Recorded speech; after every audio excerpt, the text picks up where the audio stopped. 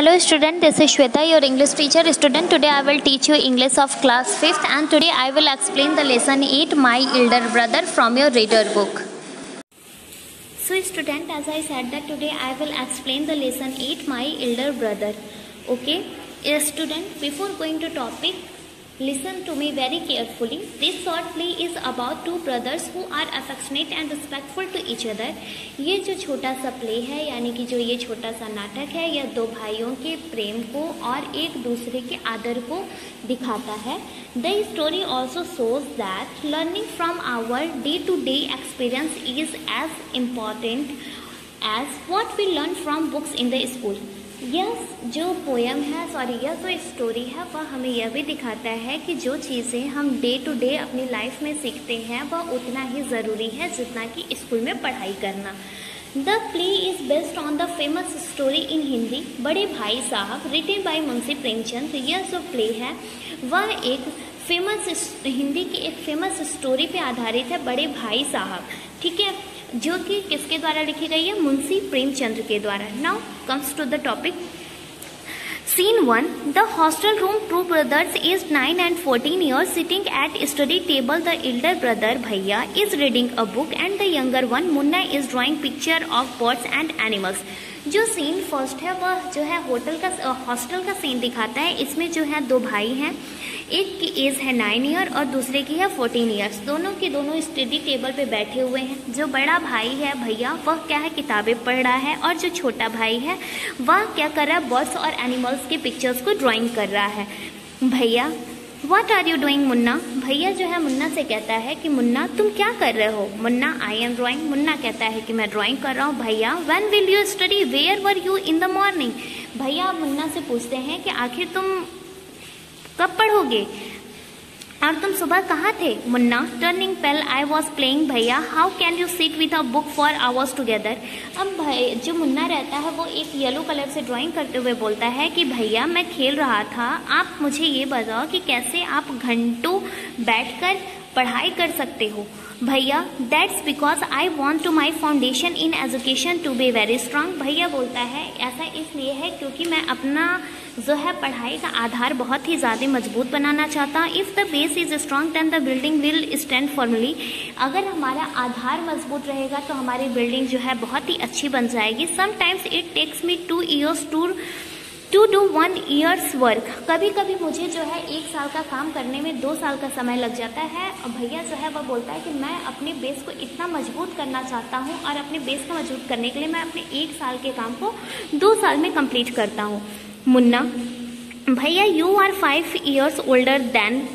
I am and the three classes ahead of me I wonder why you keep writing the same word twenty times Bhaiya अब जो मुन्ना है वह भैया से अपने कहता है कि भैया आपसे जो है मैं फाइव साल आप मुझसे बड़े हो फाइव ईयर्स बड़े हो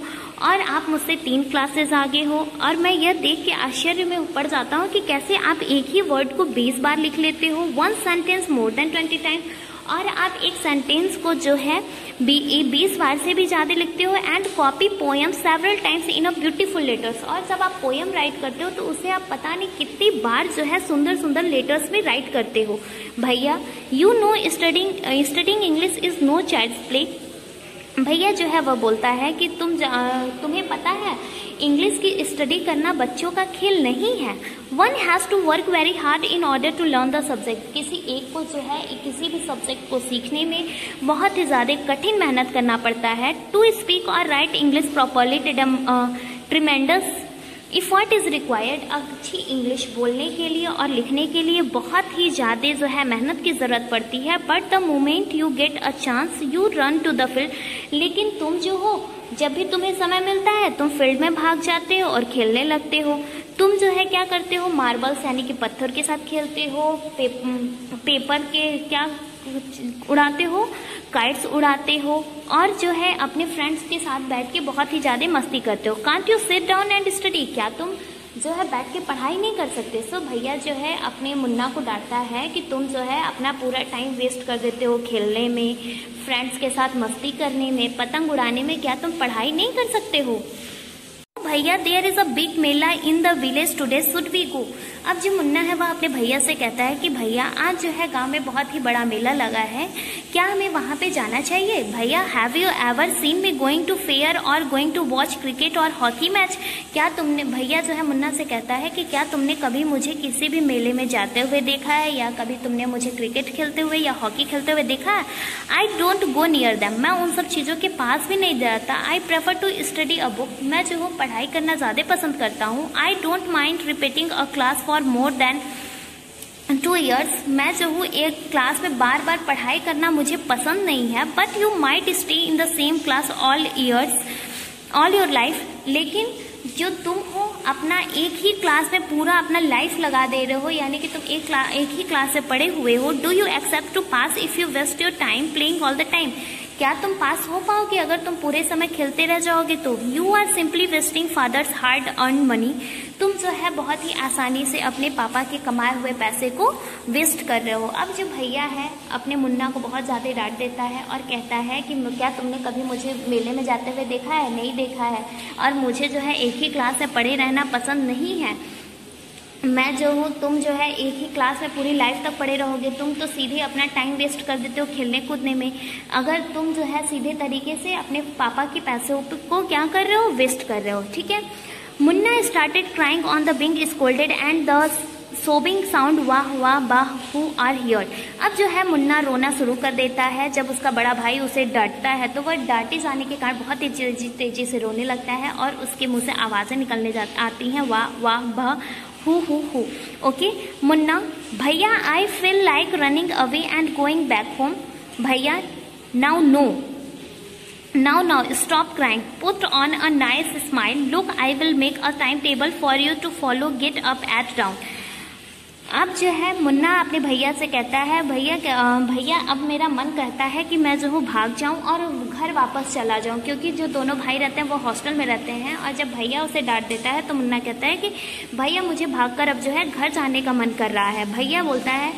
नहीं अभी नहीं स्टॉप क्राइम रोना बंद करो put a nice smile look I will make a time table from you to follow get up at dawn मैं तुम्हें जो हूँ एक टाइम टेबल बना के देता हूँ एक सुबह से शाम तक का जो है मैं तुम्हें एक टाइम टेबल बना देता हूँ बनाकर देता हूँ ताकि उस टाइम पे अपनी पढ़ाई कर सको अब जो भैया है वह मुन्ना को एक टाइम टेबल देता है now look at the time table time and scheduled okay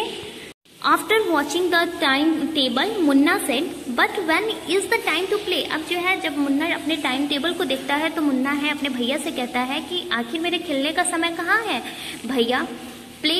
what is need Munna Bhaiya जो है वह मुन्ना से बोलता है कि खेलना खेलने की क्या जरूरत है Munna Munna oh I love to green field green gentle breeze I want to jump up like a football. I like the touch and go and who to sounds kabaddi and the hurry and flurry of uh, volleyball pulls me like a magnet as soon as I am on the field I forget everything Munna जो है बोलता है अपने भैया से कि भैया जो मुझे हरे भरे फील्ड होते हैं जो खेत होते हैं वह बहुत पसंद है मुझे हल्की चलती हुई हवाएं बहुत पसंद है मुझे फुटबॉल फुटबॉल खेलना पसंद है और जो मुझे वॉलीबॉल है वह इस तरीके से खींचता है जैसे कोई मैग्नेट मुझे खींच रहा हो और जब भी मैं कहाँ होता हूँ फील्ड में होता हूँ यानी कि खेलने वाली जगह पर होता हूँ तो मैं खुद मैं सारी चीज़ें वहाँ पर भूल जाता हूँ ओके अब जो है मुन्ना अपने भैया से बता देता है अपनी problem scene two the final exams are over and result are out अब जो है फाइनल एग्ज़ाम हो चुका रहता है और अब रिजल्ट भी आ गया होता है Bhaiya alas I have failed once again अब जो है भैया अपने रिजल्ट को देखता है ओहो मैं तो फिर से फेल हो गया Munna oh but Bhaiya I have passed and top my class now there is only two years difference between us अब जो है मुन्ना बोलता है ओ हो भैया मैं तो पास हो गया और मैंने अपने क्लास में टॉप किया अब सिर्फ जो है हमारे हम दोनों के बीच में दो साल का अंतर रह गया है हम आप जो है मुझसे सिर्फ दो क्लास ही अब आगे हो Bhaiya but my dear brother don't be so proud you have pass only one class and do you think I am stupid and you are small अब जो है वह बोलता है भैया अपने भाई से कहता है कि अरे